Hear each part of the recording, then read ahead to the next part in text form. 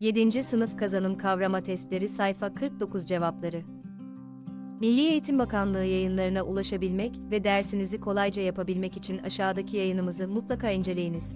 7. Sınıf Kazanım Kavrama Testleri Cevapları Sayfa 491. 3, 10, 1, 2 işleminin sonucu kaçtı? A. 1 B. 4, 5 C. 4 bölü 5 D. 1 Cevap B. İkinci 3 bölü 5 1 bölü 4 7 bölü 10 işleminin sonucu kaçtır? A. 3 20 B. 1 bölü 5 C. 1 bölü 4 D. 3 bölü 10 Cevap A. Üçüncü aşağıdakilerden hangisi yanlıştır? Cevap B. Dördüncü yukarıdaki sayı doğrusunda 2 ile 2 arası 16 eş parçaya bölünüyor. Buna göre A ve B noktalarına karşılık gelen rasyonel sayılar için aşağıdakilerden hangisi doğrudur? A, A, B 1 4.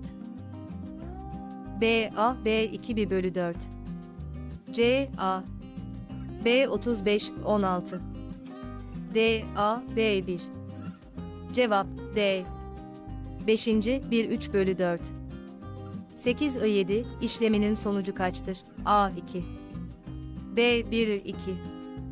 C 1 bölü 2. D 2. Cevap D. 6. 1 1 bölü 5, 2 1 bölü 2 işleminin sonucu kaçtır? A 12 25. B 2. C 25 12. D 3. Cevap A. 7. Sınıf Kazanım Kavrama Testleri, Türkçe, Matematik, Fen Bilimleri, Sosyal Bilgiler, Din Kültürü ve Ahlak Bilgisi, İngilizce, sayfa 49 cevabı. ile ilgili aşağıda bulunan emojileri kullanarak duygularınızı belirtebilir aynı zamanda sosyal medyada paylaşarak bizlere katkıda bulunabilirsiniz.